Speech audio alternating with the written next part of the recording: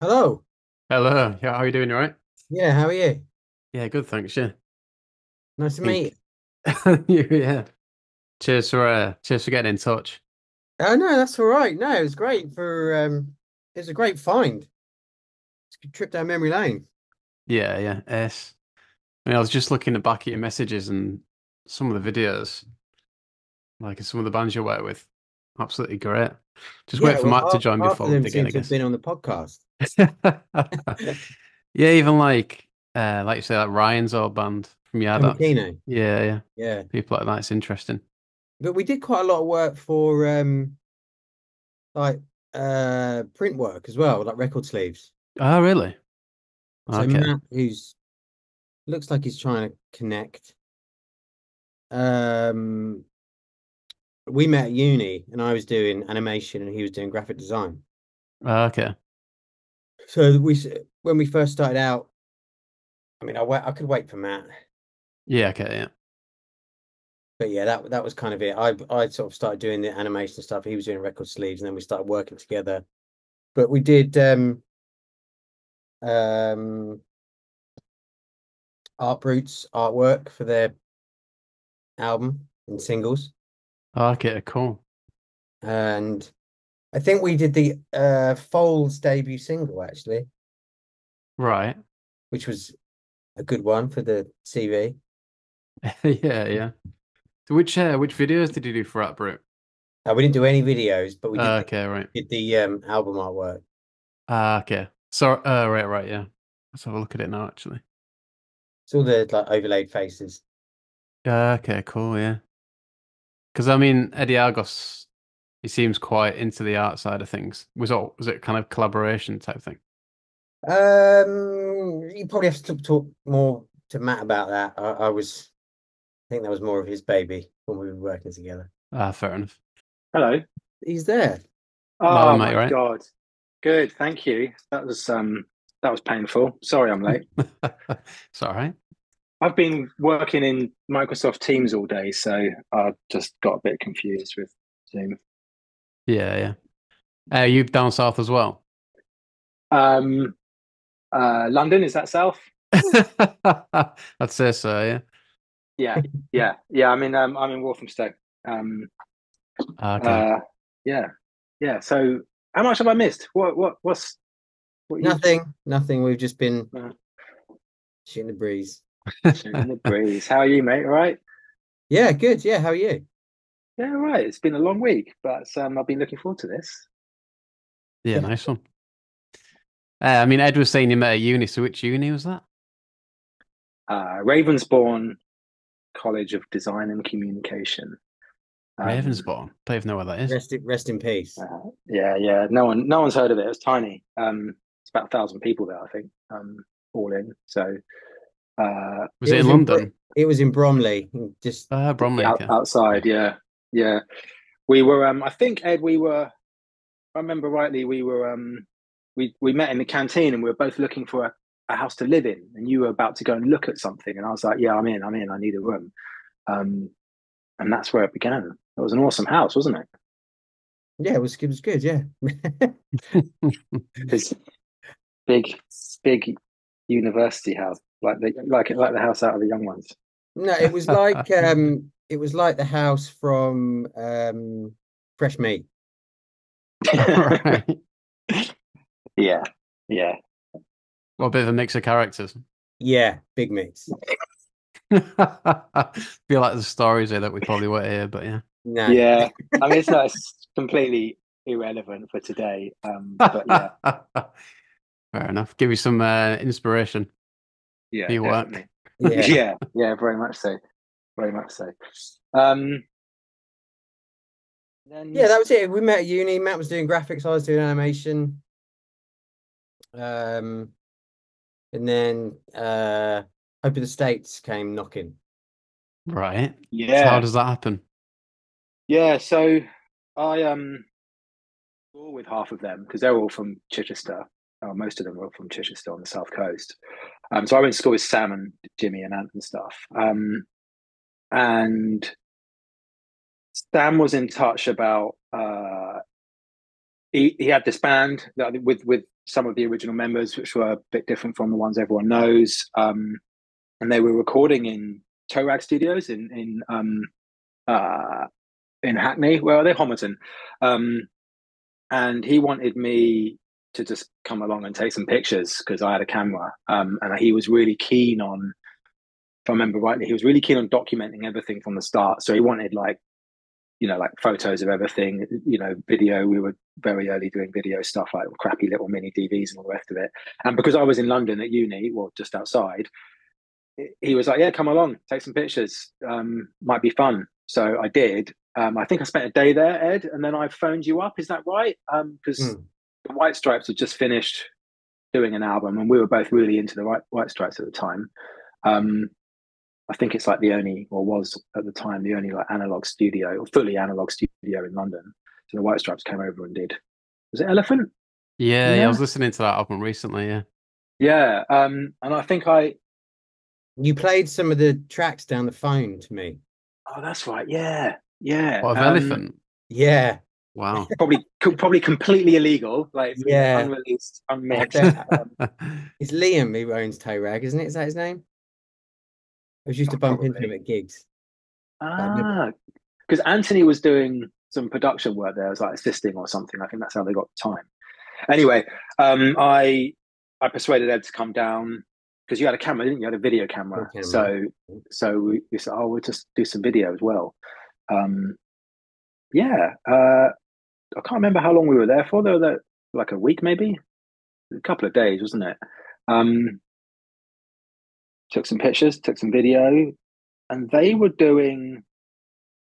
I think Anthony was doing like some sort of experimental film stuff for their like on stage shows um, and I think we managed to persuade him, I will do that for you. We know what we're doing. Well, I, I had no idea. I'd, I'd had some idea. Um, yeah, so we persuaded him to take over like the projections and stuff.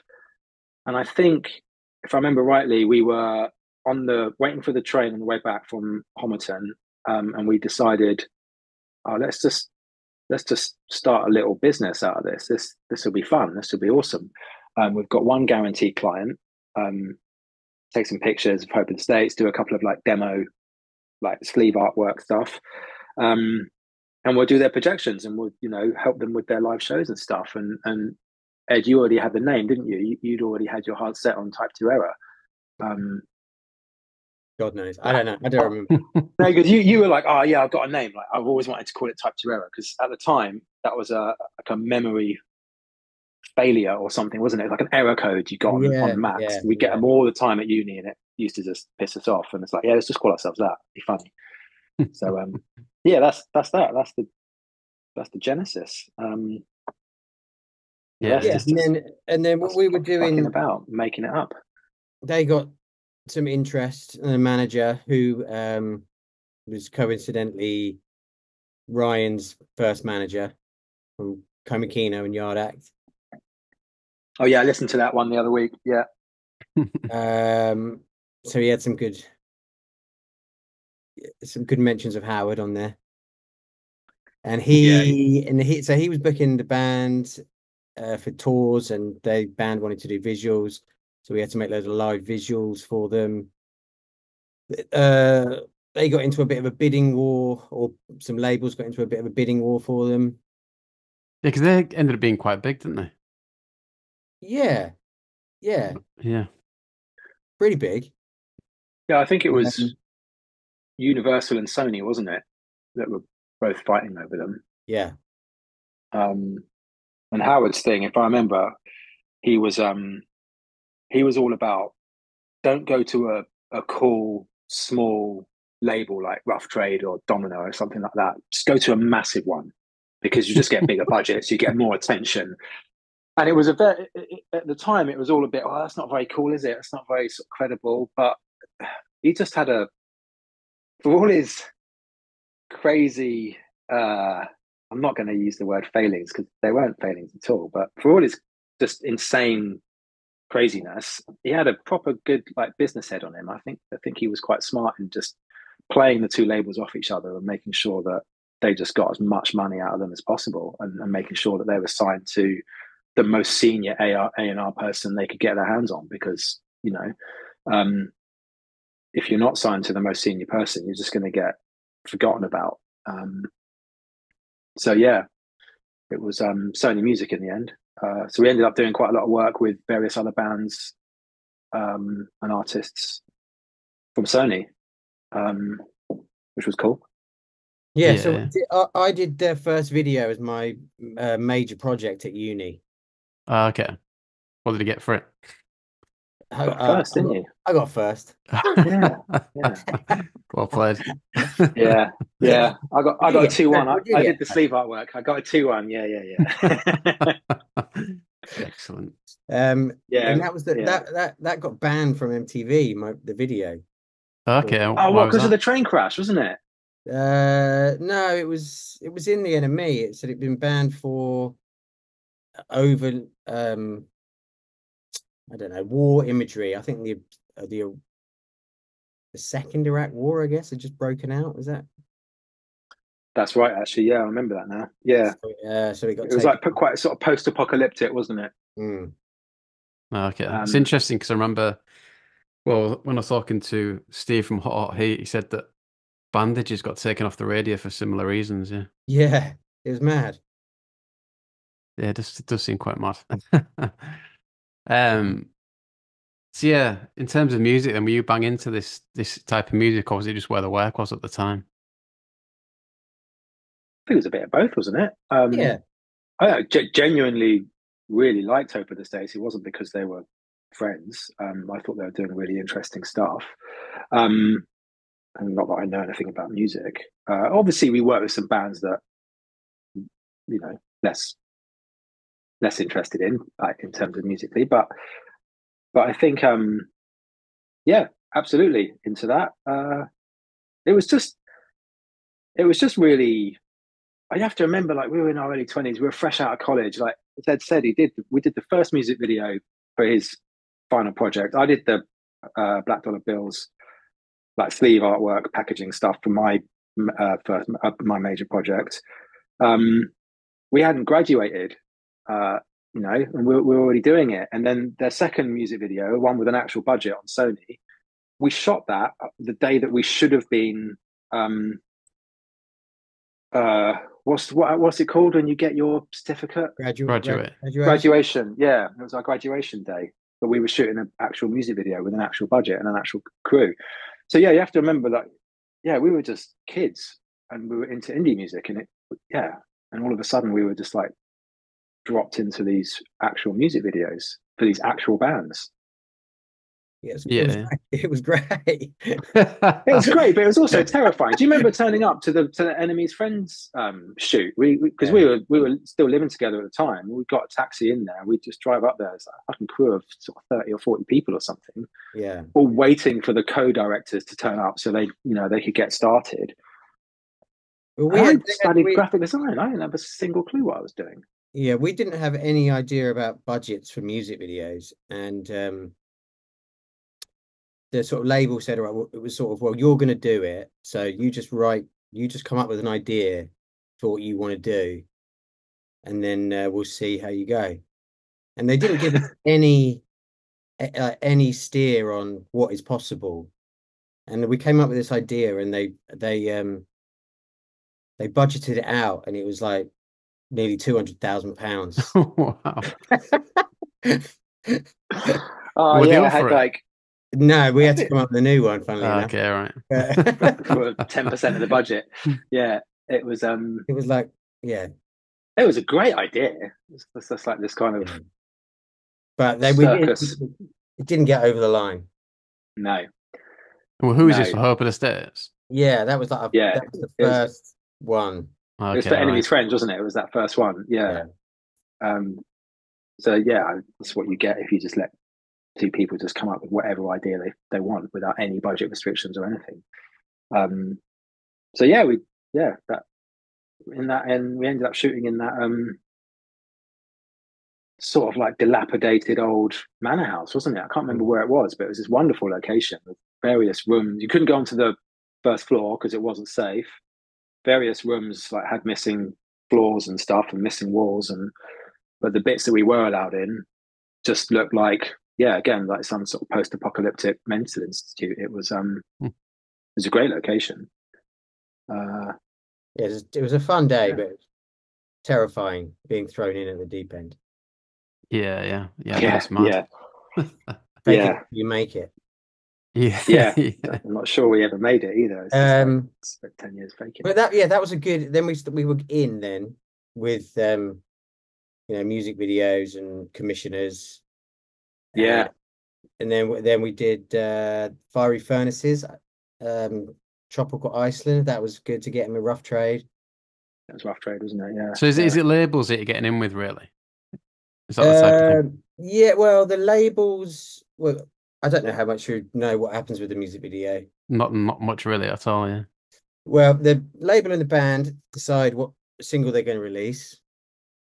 Uh, they hire, uh, well, they either have some a video commissioner on the staff at the record label, or they hire an independent video commissioner who decides on a brief, which they then send out to directors that they consider worthy of pitching on.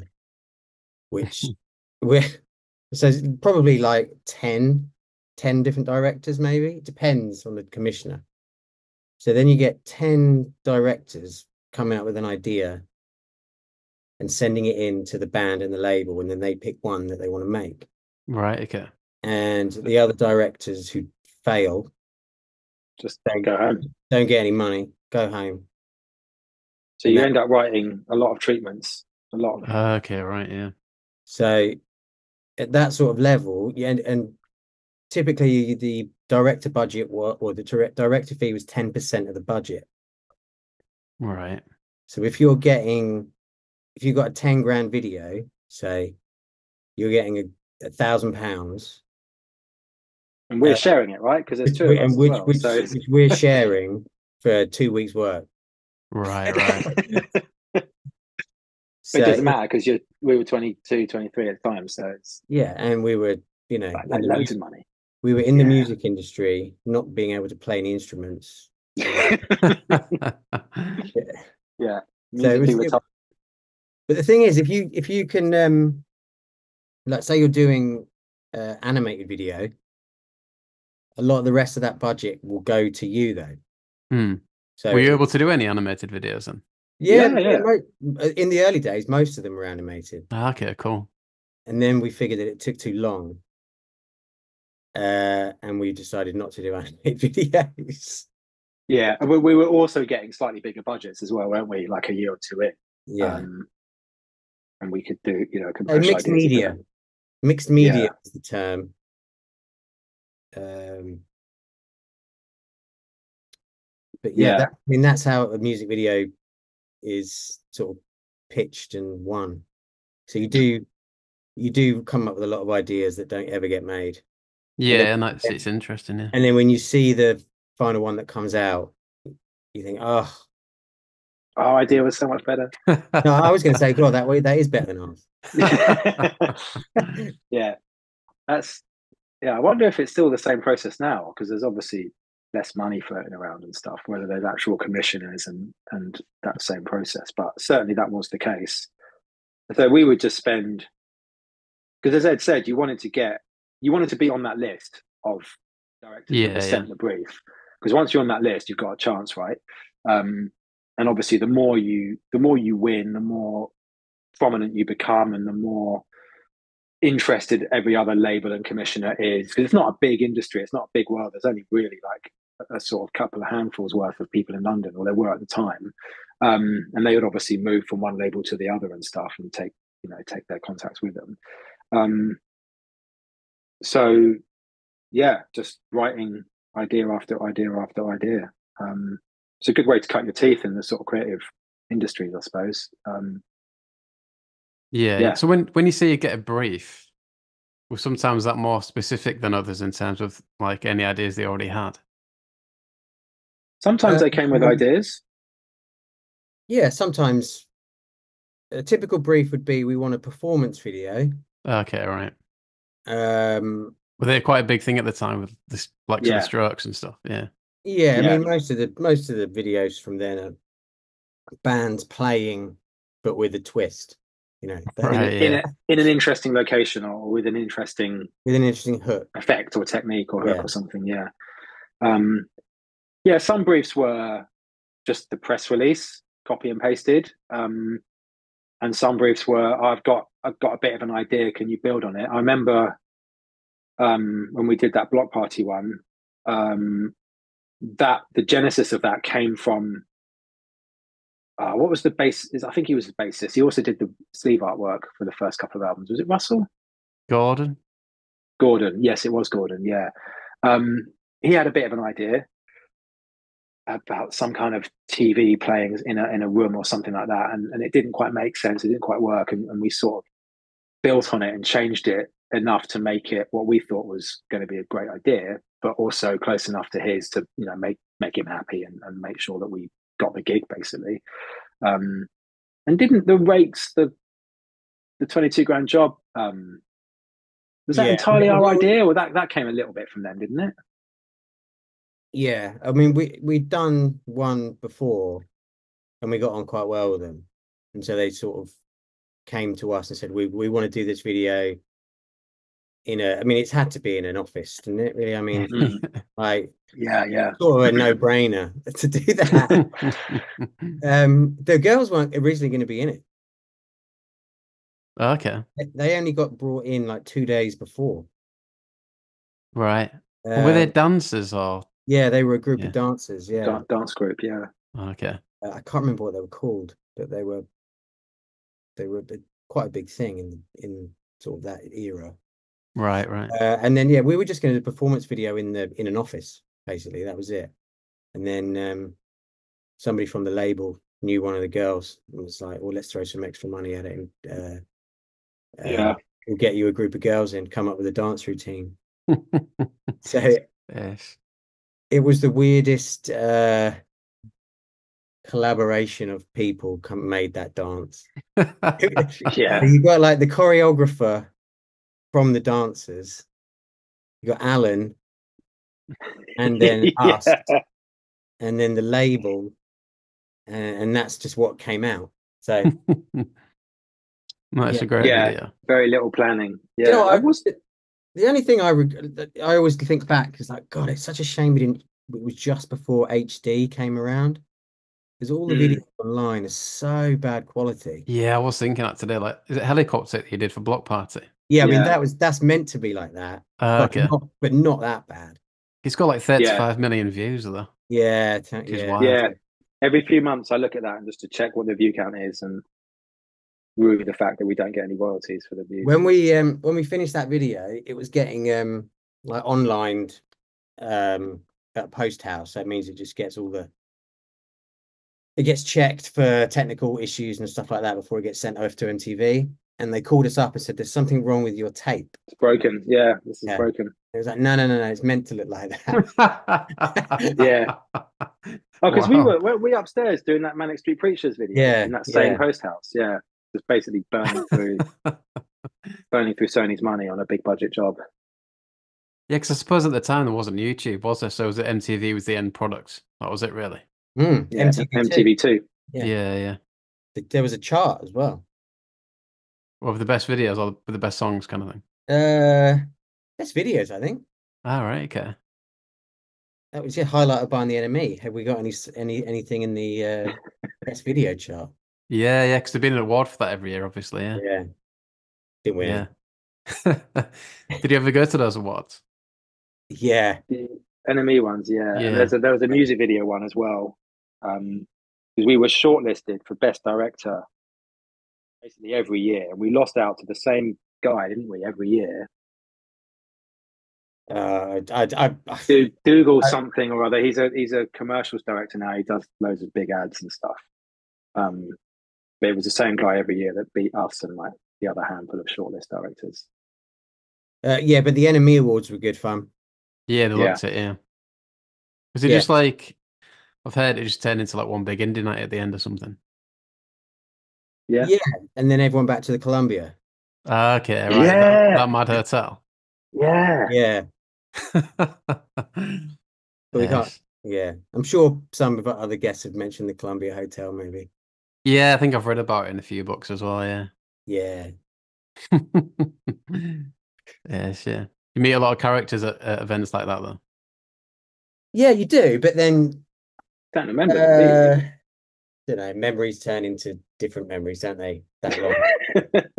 and you, I mean, you met people, but you didn't really. I, I mean, I never really ch- changed, swap numbers with anyone. I was, you know, skanking around from dance floor to dance floor. Get out of there. Do you ever like use it as a chat up line in a club? Like, I actually did the video for this song. Uh, I'm sure I did. Probably, yeah. it's a decent Yeah. one, to be fair. We because um when after we did Bloc Party, Kele was just like the nicest dude alive. Um, and he he he recognized us for a, a surprisingly long period of time after we'd shot that. And so like years later, we'd see him in a club and he'd, he'd be like, "Oh hi, how you doing? Yeah, you good? Yeah." You'd have a little chat and stuff. And that was that was you know when they were getting like seriously big, and and that was um that was great because people would just be like, "Oh, oh, you know Kele, you know Kele, oh, amazing, ah." So that was that was also fun, and I think when um when we did that Paul Weller video, he he just he didn't really deal with much of the label. He just did it all himself because he because he could, and he's he doesn't you know doesn't really need to do a music video to promote himself or anything. So he we just switched numbers with him. So he would just phone us up on on our phone, and you you, you get the call, and you're in the pub with your friends. It just says it's coming from Paul Weller. Hold it up and show it to everyone before you take it out and take it. Um, so yeah, there's there's lots of moments like that. Uh, yeah. Yes. And how do you end up working with, with someone like Paul Weller? Is that through the label again? Yeah, he was on V2 with the with Ah, okay. um, with the rakes and Right. Yeah, and wasn't wasn't it?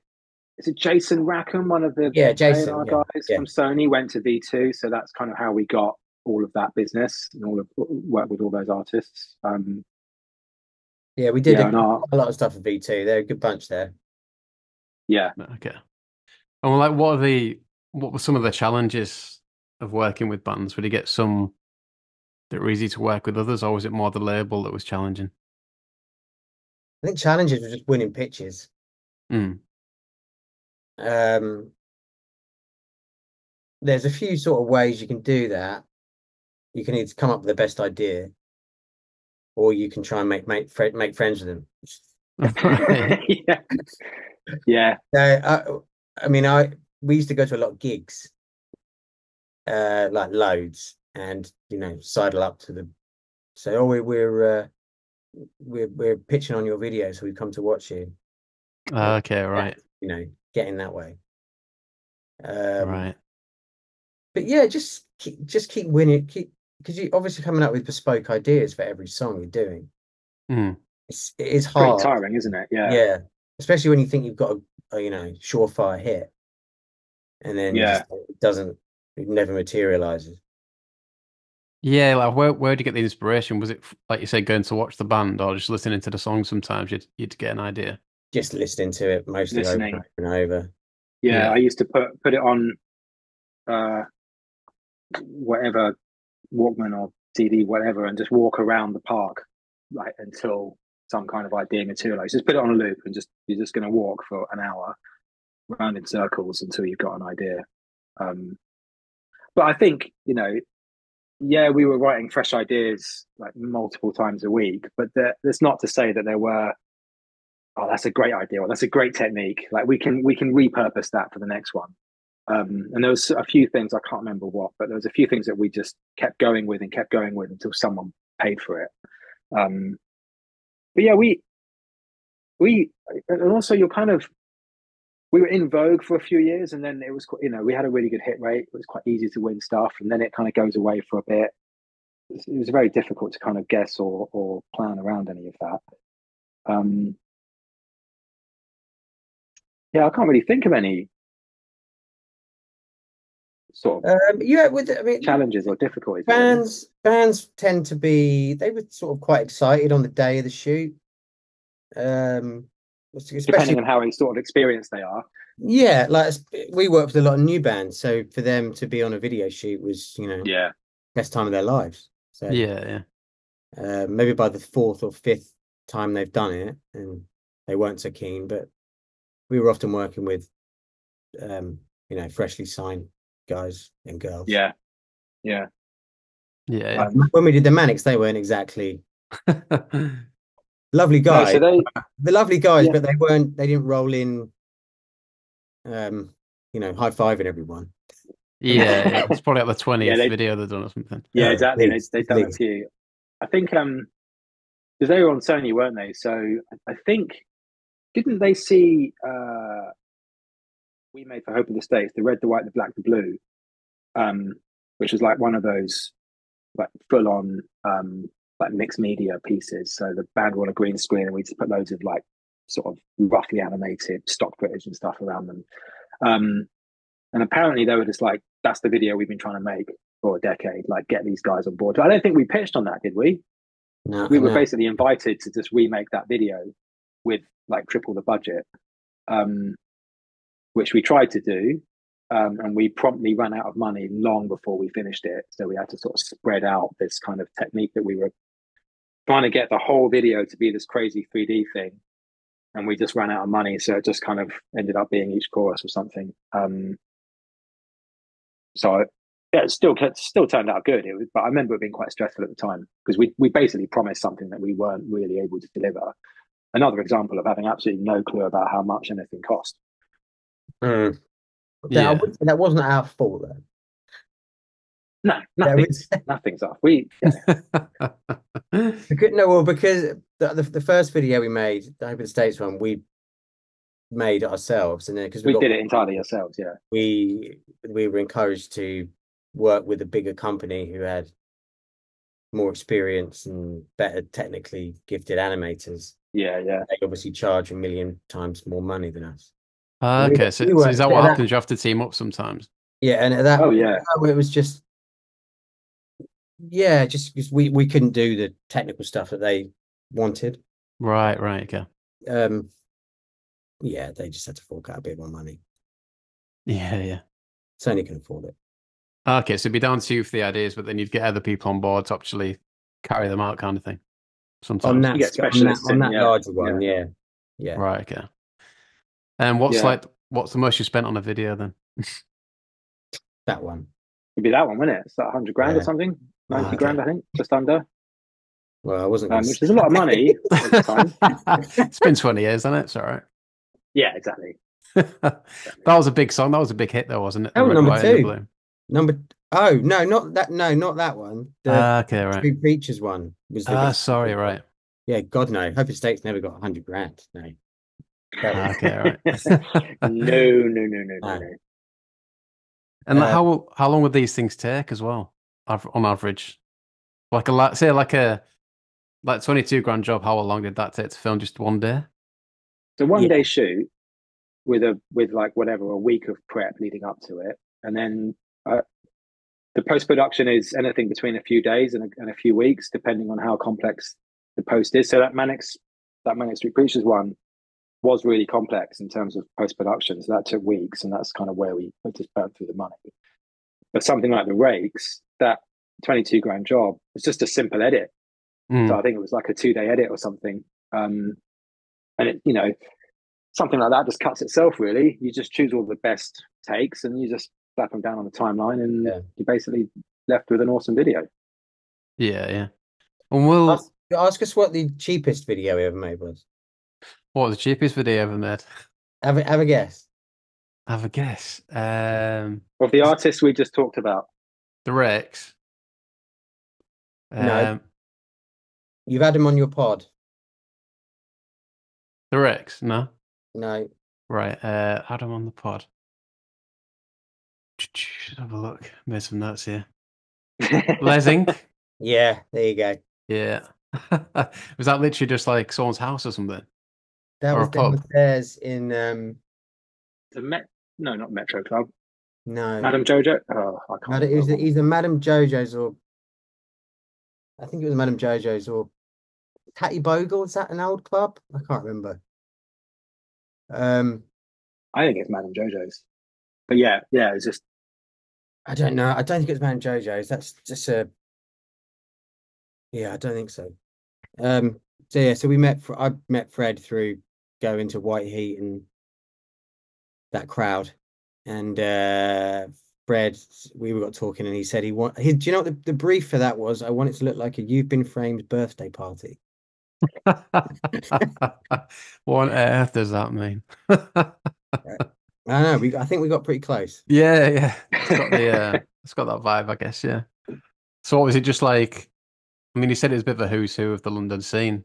Is that how you yeah, it described was. Yeah, yeah. Uh, well, Matt is in it from White Heat. Uh, I can't remember the two girls, the DJs who used to DJ it Uh, together. Queens of Noise. No, Yeah. no, those Oh. guys. It was um oh, they used to DJ at Frog, I think. Uh I can't remember the names. Not is it Laura? No, not Laura Marsh.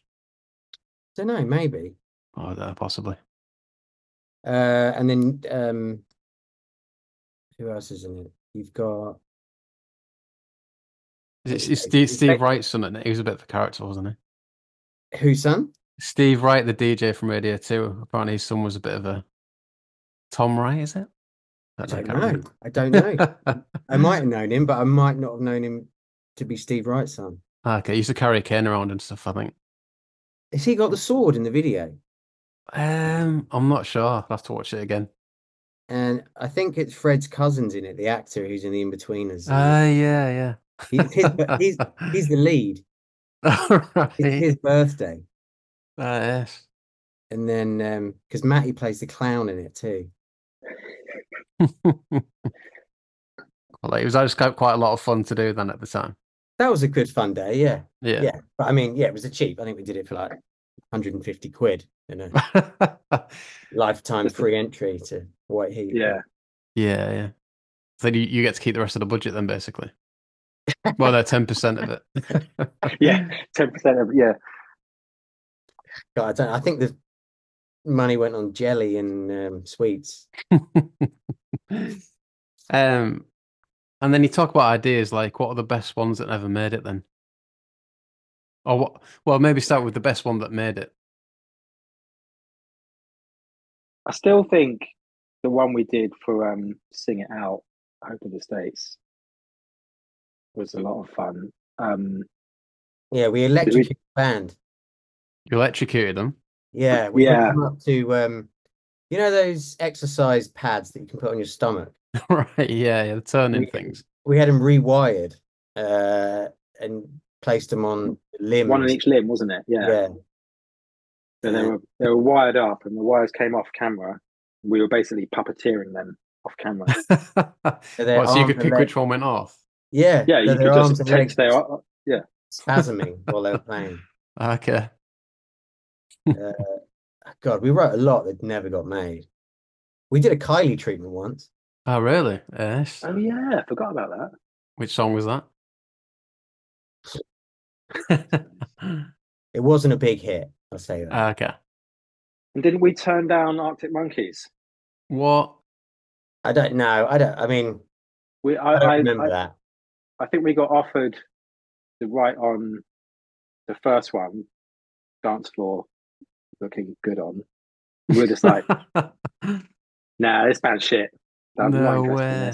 I don't think I would. I wouldn't have said that. I was all over the Arctic Monkeys when they were. No, no, it's before they were. It was like no one had ever heard of them. It was this, you know, their debut single, and oh, they they they got a bit of hype around them. And we we used to, to your earlier point, we we'd get so many bands that had a bit of hype around them because they were brand new. And I think we were just a little bit jaded at that point because it was sort of the back end of. I feel like it was the back end of our career. Um, and I'm sure that we just Nah, I haven't got time to do this one. Sorry, not interested. Or maybe we did and we just didn't put much effort into it and it, we obviously didn't win it. Um, quite could be sparking off a big uh, argument here, but Go for it. uh, yeah, I I'd never. I didn't think we ever got an Arctic Monkey song. I was I was a big early early adopter. I was on Oh, the. okay. I was Maybe I on just the, didn't tell you about it. I just, I did, I Maybe made the you never decision told me before I about even asked you. oh wow.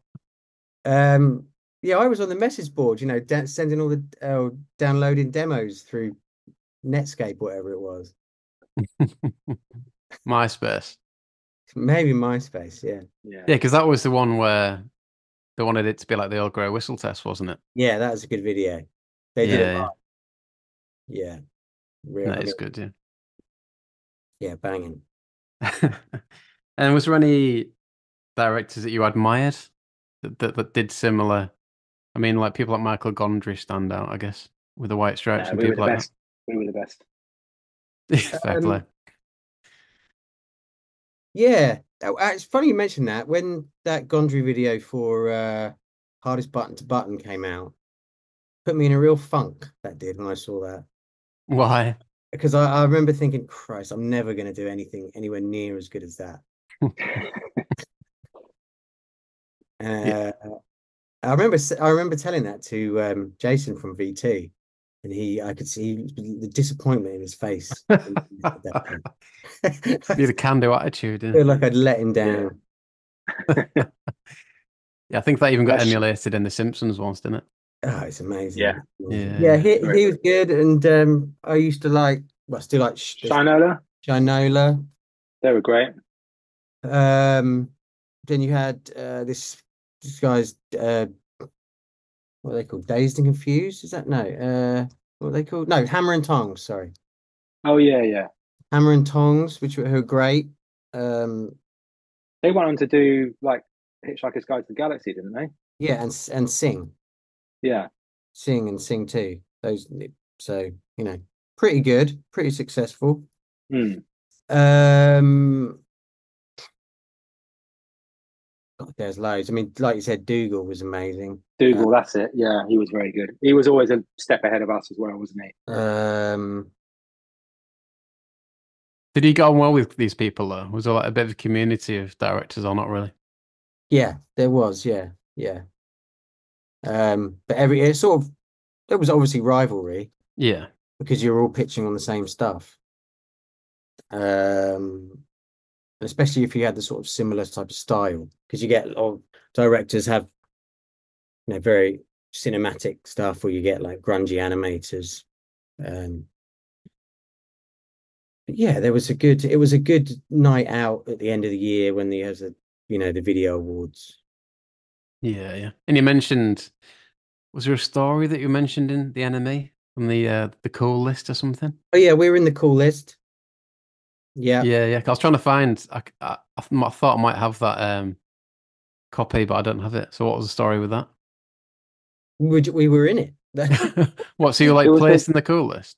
no, They had it a list. uh, that If they if if they walked, they would be non-musicians. We were in between Simon Pegg and Thierry Henry. something like that. Yeah. Yeah, It's all right, isn't it? yeah, good company. Ah, But I nice can one. tell, like, I- I- who were you? You spoke to the NME? Is it Conor Yeah, about the cool list? yeah.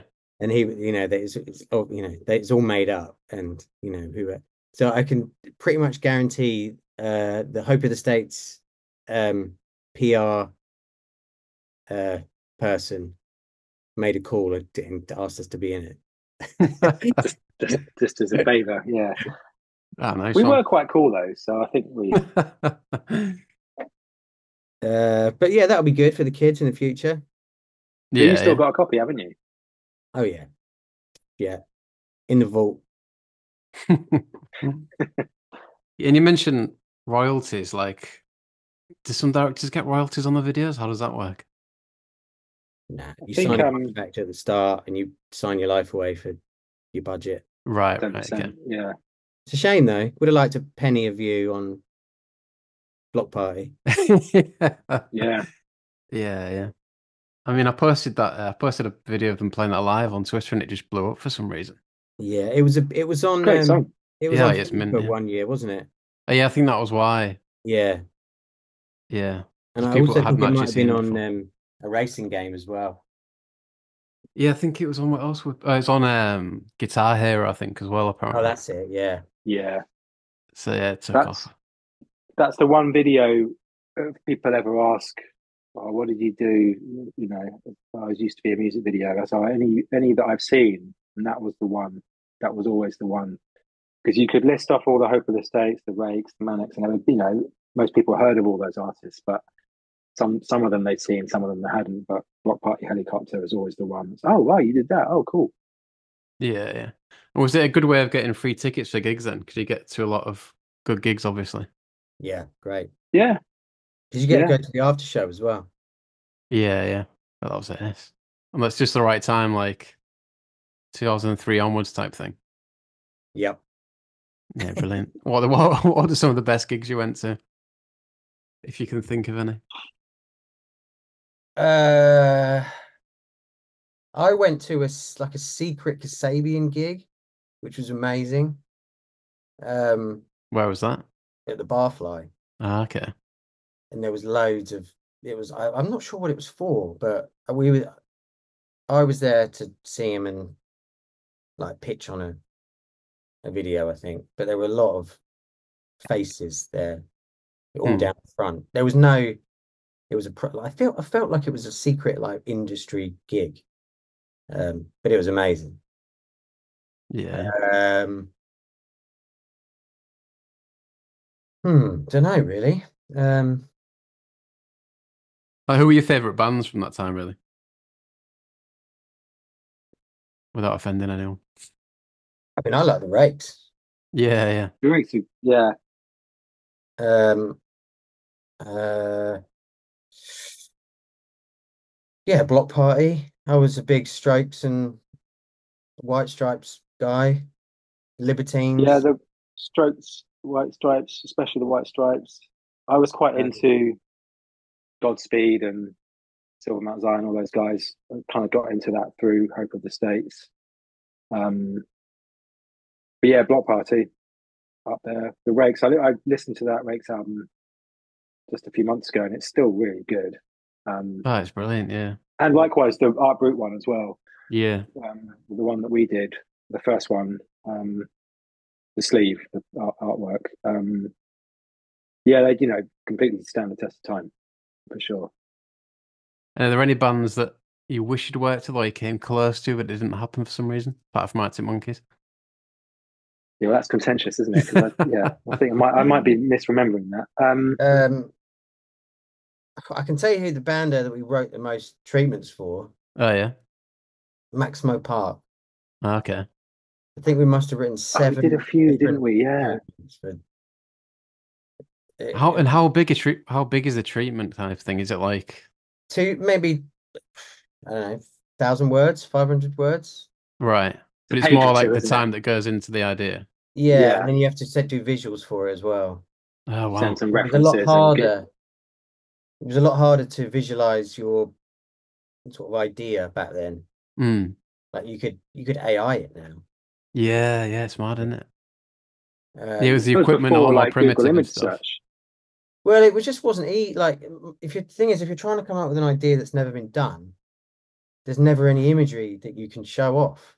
Yeah, So it was really hard to get your idea across a lot of you the have time. to you have to show oh imagine this but in that color in that situation and mix those two to you know it was um yeah it was before image search it was before a lot of that stuff so yeah it was just writing something that was compelling that made sense that sense checked that that you could afford it and do it in the time that we had and and that you you know you have to kind of reference the brief sometimes just to make sure that yeah, yeah, we've answered your brief and we've done that thing that you asked us to do. And yeah, it was quite a few hours went into, you know, a day or three, depending on how much effort you put into it.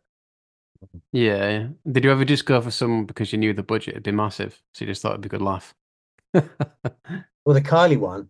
yeah, yeah, Um, yeah, to be our budgets sort of weren't huge, you know, that the, the big budget stuff goes to pop, you know. Mm. Um, Yeah. normal MTV. MTV2 back then was the um, you know, the dirty little brother. yeah. Does that like? I don't know. Do you sometimes get the best ideas when you're on a budget? Though, do you think? Do you think it becomes a bit mad when you've got this huge budget? Yeah, yeah, it does, yeah. Because you get money gets wasted when you've got a lot of it. Yeah, yeah. You get the kind of Spinal Tap ideas coming out. yeah. Yeah. And you mentioned the quality of some of the videos. Do you think there's any chance like better versions of the videos could come out at some point? I guess if someone just recorded them off on VHS, they'd look a bit better than the YouTube ones at the minute. I I have no don't even idea where the masters were. The Okay. masters have probably all been put on a bonfire somewhere. MTV have probably still got masters, but possibly. Mm. Um, but no one. I don't know how many like Betamax tapes they would have. Mm. I mean, the physical space involved in that for every music video. Um, I've probably still got masters of the ones we actually edited, but that Bloc Party one, the prod, the, the Adobe Premiere project, uh, corrupted, and I was lucky I, I just had a play out that I could use, and rather than have to I've read got- the whole thing. I've actually got a much better quality Bloc Party one and the Rakes one on on my Vimeo page, Ah, really? But- okay. and I'm sure you have as well, Ed. Because do you remember, like a few years ago, the labels came certainly came after me and said, "You've got to take that down. You can't have." Really? Because I had like Hope of the States, I'd Red, White, Black, the Blue, Sing It Out, um, the Rakes, uh, Bloc Party, and yeah, they just cease and desist because they're losing out advertising money on YouTube, right? Yeah, um, yeah. because you don't have any rights to it, even though you directed it and even though you wrote the idea. Um, so yeah, they're they're hidden. So they do exist right. actually. They're just behind a password on my Vimeo page, Right. collecting digital dust. No one's going to see them because you can't you can't publish them. yeah, that's a shame, isn't it? Yeah. So I guess obvious question is like what you both went on to do after that, then what happened kind of thing. Well, Michel Gondry made that White Stripes video, and I retired. Uh, I I got fed up of losing pitches and just decided I wasn't going to do it anymore. And I went to work. Uh, uh, had to get a proper job. So, well, properish. I went to work for a TV production company doing graphics for documentaries, ah, cool. And uh, I did that for know, seven years or so. Then I went freelance about six years ago. Right. Um, and that's what I'm doing now. Work. Yes.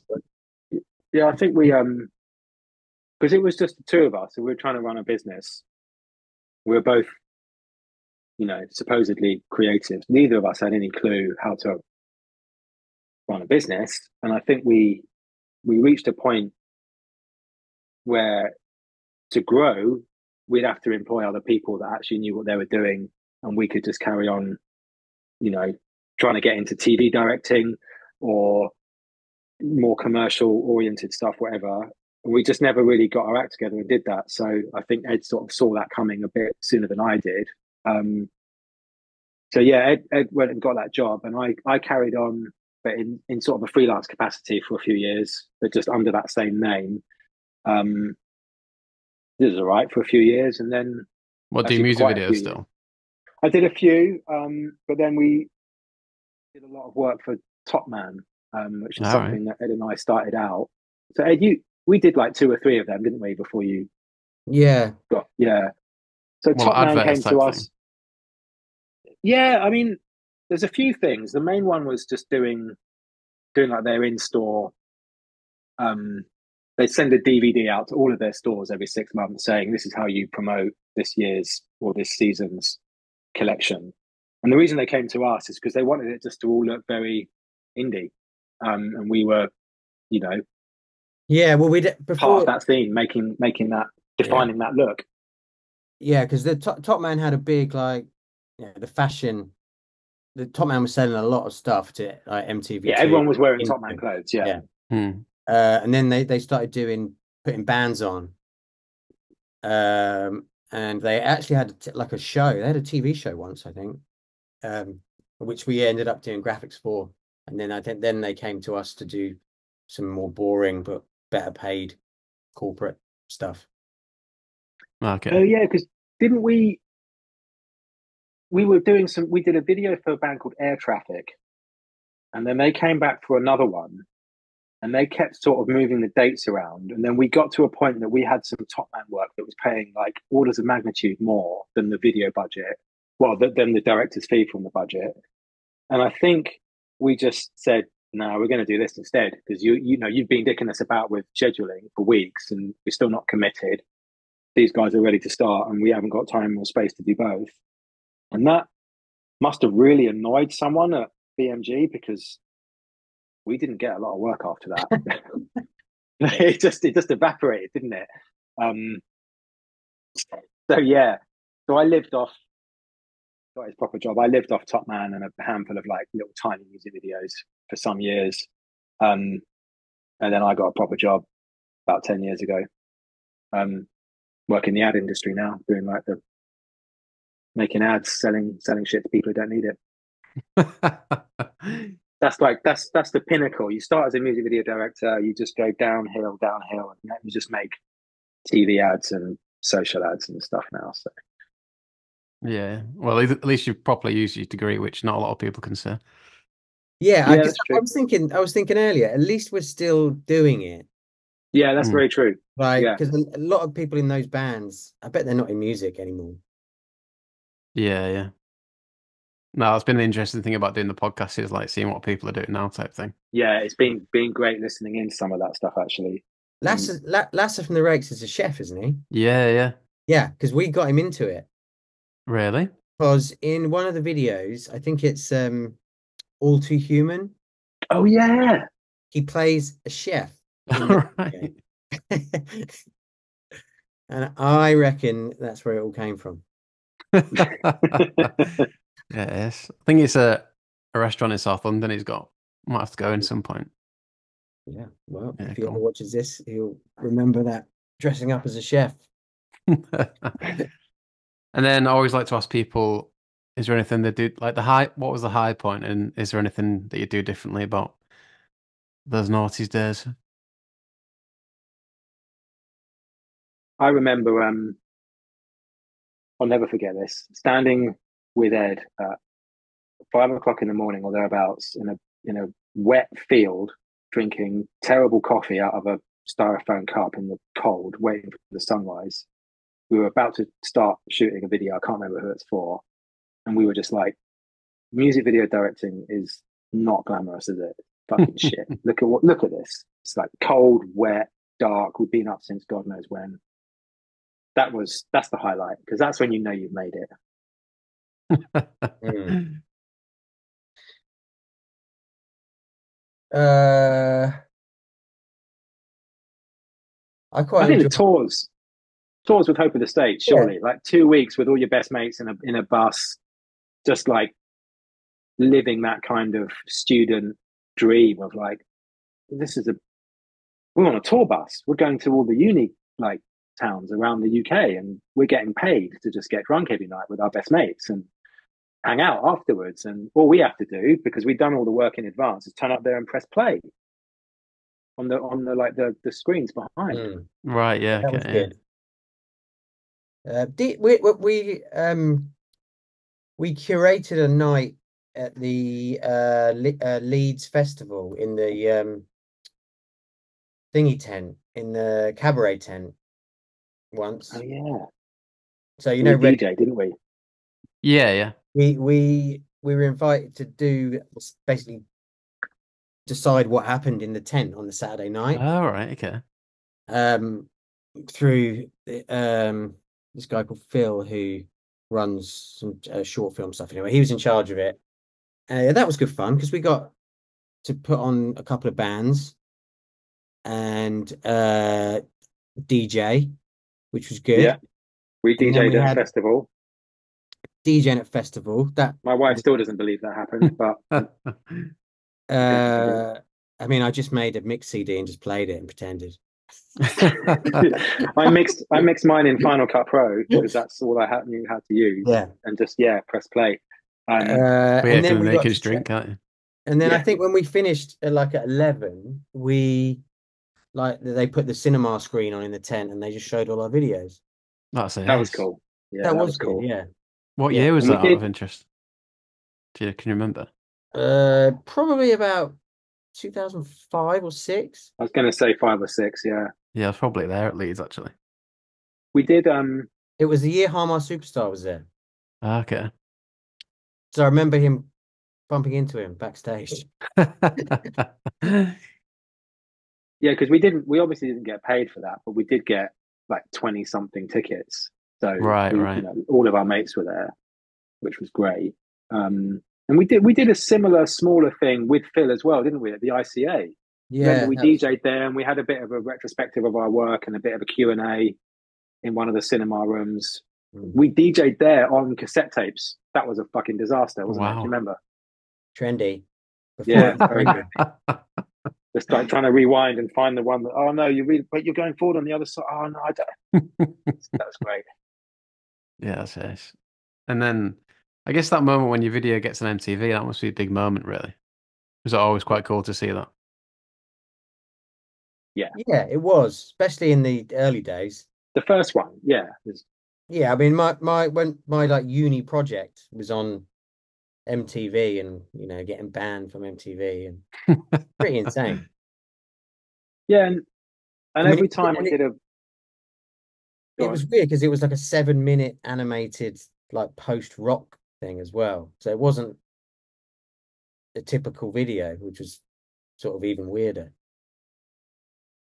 Yeah, and every time we did a record sleeve, like seeing a shelf full of them in HMV or Rough Trade, always, always got a bit of a buzz from that. I remember going into Rough Trade and chatting to the guy, the original one in, in West London, chatting to the guy behind the counter, and I think Black Dollar Bills, the first Hope of the State single, was playing at the time.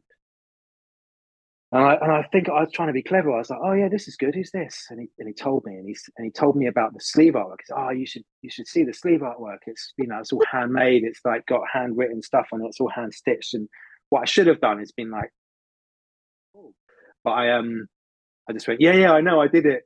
Uh, which to this day, I'm like still embarrassed about. But um, After you'd asked him what song it was. yeah, yeah, exactly. Yeah, yeah. It's a really cool. Yeah, I know, I did it. I did it. Yeah. did you have yeah? Did you have a No. favorite sleeve that you did? probably the um the red, the white, the black, the blue was quite good because it had this. Oh, it's difficult to describe, but we did some die cut stuff so that when you opened it out, like the, the layer underneath changed color and stuff. Um, the, okay.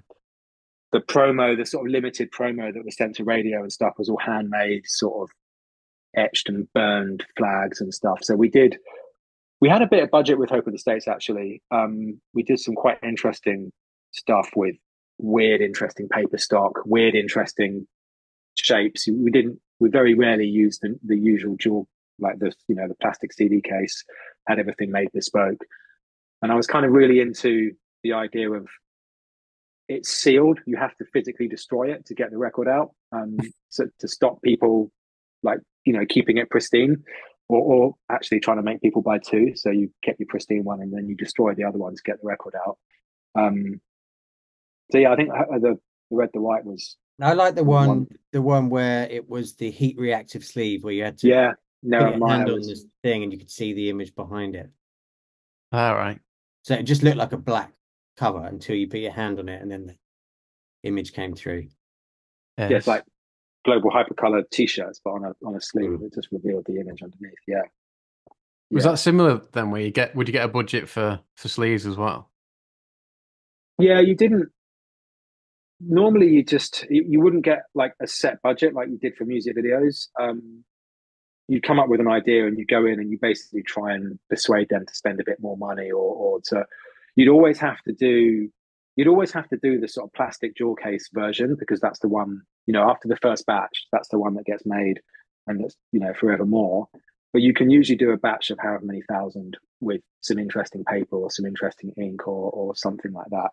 Um, and I remember the the George Michael's comeback album, the one when he's like sat on that white sofa, that made Sony so much money that they were pretty flush at the time, that allowed us to like go crazy with the first Hope of the States album with all sorts of like bespoke packaging and templates and card and like we've made all these books and everything that were hand stitched and there's no way that would ever have happened if it wasn't for Sony being so flush with cash after George Michael's like supremely successful comeback album. I mean, we were told outright, like, well, the only reason we can afford this is because of that record. So just really good timing because it, it allowed us to, you know, like that first music video, one of the first projects out of college was to design like a, the, the album artwork for like two or three different versions for the CD, like the special version, the normal version, and the sort of in between version, the 12 inch, all the promo stuff. So it's like a whole suite of artwork you know, with across different shapes and sizes. And as with the music videos, they had obviously no idea what what we were doing, um, but we just got given quite a lot of leniency um, because they were, yeah, they had a bit of money at the time. I also think the label were quite happy that they'd signed a band that just came packaged with us two. So they didn't mm. have to worry or think about any music videos, any artwork, you know, bands were just starting to build actual websites at the time. And so we did all of the art direction and the sort of storytelling for what their site was going to be. Didn't know how to build it. Someone else did the build. Um, so yeah, they, I think the label were pretty happy just to let us get on with it. Um, and that's partly why Howard was so keen to sign to a big label um, next to the you know the most senior A and R guy you could get because then you do get that leniency and you do get that freedom.